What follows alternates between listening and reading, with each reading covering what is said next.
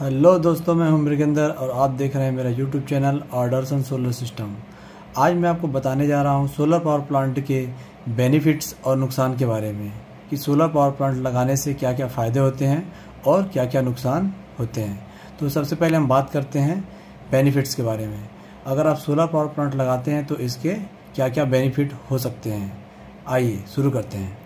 सबसे पहले जब आप सोलर पावर प्लांट लगा लेते हैं तो 25 साल के लिए आप बिजली बिल से मुक्ति मिल जाती है आपको। मतलब सोलर पावर प्लांट आप एक बार लगाने के बाद उससे क्या होगा कि आपका पैसा जो है एक बार में इन्वेस्ट हो जाएगा और उसके बाद जो है वो सोलर पावर प्लांट हमेशा के लिए आपका खुद का अपना हो जाएगा।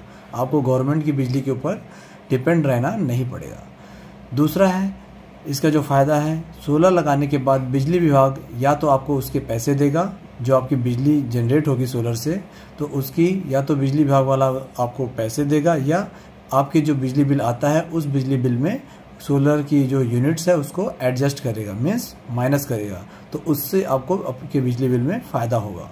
तीसरा फ़ायदा ये होता है इससे कि सोलर पावर प्लांट को क्लीन करना बहुत ही आसान होता है।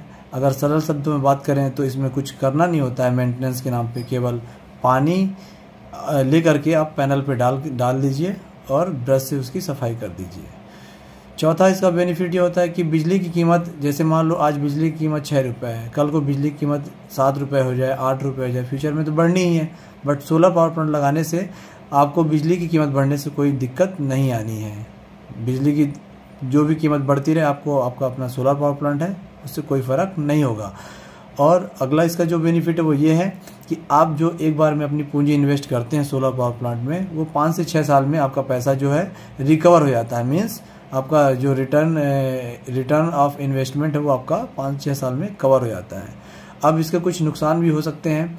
जैसे कि हम देखते हैं कि नुकसान इसमें क्या क्या होता है। सबसे पहला है शुरुआत में जो सबसे पहले कि शुरुआत में एक बार में जो आपका पैसा इन्वेस्ट हो जाता है सोलर पावर प्लांट में, वो इसका एक नुकसान है। मतलब बहुत लोगों के पास एक बार में इन्वेस्ट करने के लिए पैसा नहीं होता है।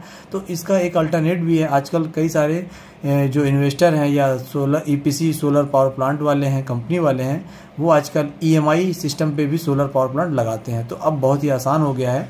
ठीक है? दूसरा नुकसान ये है कि पैनल के आसपास अगर कोई सैडो आती है तो उससे जनरेशन का लॉस होगा। मीन्स जितनी भी बिजली बनेगी, वो थोड़ा कम बनेगी, अगर सैडो पड़ती है तो। इसलिए कोशिश करें, जब भी सोलर पावर प्लांट को लगाएँ तो आसपास देख लें कि वहाँ पे कोई पेड़ ना हो।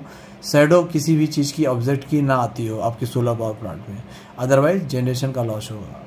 तीसरा नुकसान ये हो सकता है कि पैनल को है, जो है बार बार समय समय पर पैनल की सफ़ाई करनी पड़ती है। अगर आप पैनल की सफ़ाई नहीं करेंगे तो इसमें डस्ट बैठेगी। डस्ट बैठने से सोलर की रेडिएशन पड़ेगी उस पर और सोलर की रेडिएशन सही सही तरीके से पैनल के जो सिलिकॉन है, उस पर इम्पैक्ट नहीं डाल पाएगी जिससे जनरेशन जो है, नहीं हो पाएगी, आपके जनरेशन में लॉस होगा। इसलिए पैनल की सफ़ाई समय समय पर करनी पड़ेगी आपको।